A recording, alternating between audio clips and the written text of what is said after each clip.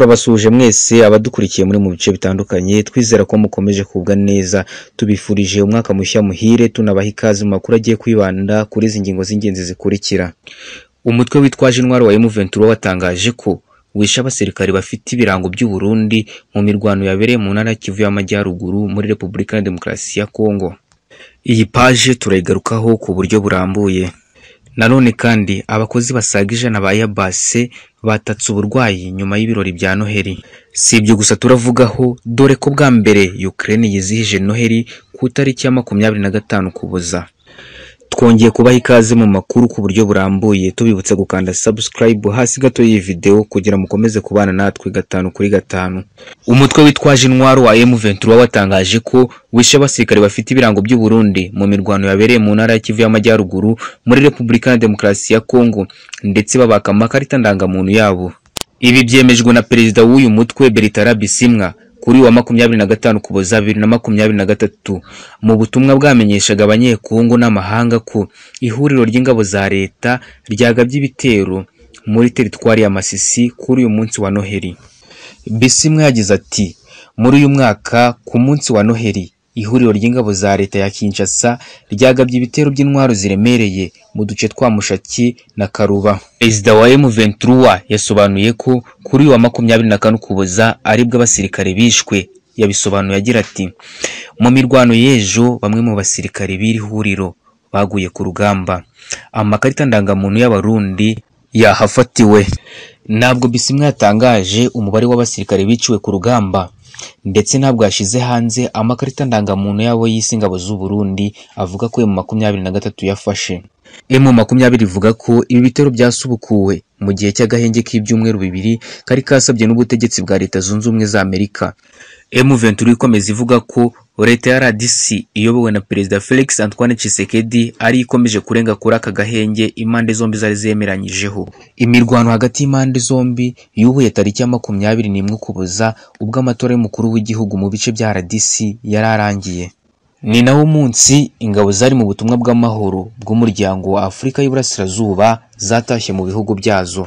M23 yatangaje ko mu ngabo ihanganye na zo harimo iz'u Burundi ziri ku rugamba hashingiwe ku masezerano ubutegetsi bw'iki gihugu bwagiranye na RDC muri Kanama bibiri na makumyabiri na gatatu. Uyu mutwe witwaje intwaro nk'uko usanzwe ubivuga watangaje ko uzakomeza kwirwanaho urinda abasivile ndetse n'imitungo yabo by'umwihariko mu bice ugenzura. Naha duhiniye iyi paje dukomereje ku yindi paje ivuga ko abakozi ijana ba Yabasi batatse uburwayi nyuma y'ibirori bya Noheli. Mu ntangiriro z'Ukuboza abakozi babarirwa mu ijana b'ikigo cyo mu Bufaransa kimenyerewe mu gukora ibikoresho bitandukanye by'indege Airbus Atlantic. Batatse uburwayi nyuma yo kurya ifunguro ryari ryabateguriwe mu birori byo kwizihiza Noheli. Mu butumwa bw'umuvugizi w'iki kigo yabwiye ikinyamakuru CNN ko ubu burwayi bwatewe n'amafunguro ahumanye bari bamaze kurya ariko ntiyatangaje ubwoko bw'amafunguro bariye kuri uwo munsi.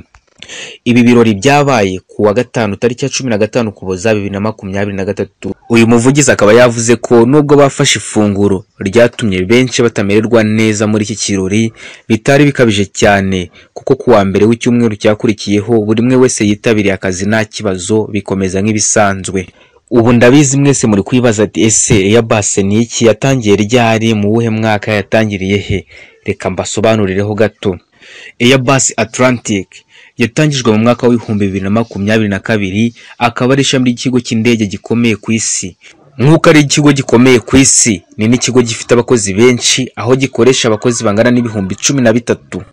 Mu nyemerere duhiniraho ingingo dukomereze mu gihugu cya Ukraine. Aho kuri uyu munsi tariki ya makumyabiri na gatanu Ukuboza bizihije Noheli nk'abandi bose. Ibi ni ibintu bitari bisanzwe muri iki gihugu. Abakristo bemera kandi bakazirikana ivuka rya Yezu Kristo babarizwa mu gihugu cya Ukraine bitandukanye n'indi myaka yabanje. Bizihije bwa mbere umunsi wa Noheli kuri wa makumyabiri na gatanu Ukuboza bibiri na makumyabiri na gatatu. Ubusanzwe Ukraine yagenderaga kuri ndangaminsi y'idini rya Orthodox. Rifite icyicaro gikomeye hariya mu gihugu cy'Uburusiya aho Noheli yizihizwa tariki ya karindwi Mutarama. Itegeko ryo gukoresha iyi ndangaminsi ryari rimaze imyaka myinshi rigenderwaho ryahinduwe na perezida wa Ukraine Vladimir Zelensky muri Nyakanga uyu mwaka. Aho yavuze ko abanya-Ukraine bagomba gutandukana na gakondo y'Abarusiya. No kwizihiza Noheli muri Mutarama. Ibi byahise bituma abanya-Ukraine batangira gukoresha bidasubirwaho indangaminsi yizihiza Noheli ku itariki ya makumyabiri na gatanu Ukuboza. Dore ko itariki ya makumyabiri na gatanu ariyo tariki ibihugu bifitanye isano n'Uburayi bikoreraho umunsi mukuru wa Noheli ndetse n'ibindi bihugu bifite amadini akomoka hariya i Burayi. Mu birori byabanjirije umunsi mukuru wa Noheli, Perezida Zelensky yatangaje ko abanya-Ukraine bose ari bamwe kandi ari umuryango umwe wagutse nk'abanyagihugu bunze ubumwe. Kuri iki cyumweru abantu bagiye bahurira hamwe bagasenga, bagacana buji nk'ikimenyetso cy'urumuri, banateguye ibirugu mu mihanda igiye itandukanye. Nubwo bimeze bityo, hari abakinangiye kuri gakondo y'Abarusiya bakomeje bavuga ko ibi birori bitabuza ko mu mwaka utaha muri Mutarama batabura kwizihiza Noheli nk'ibisanzwe.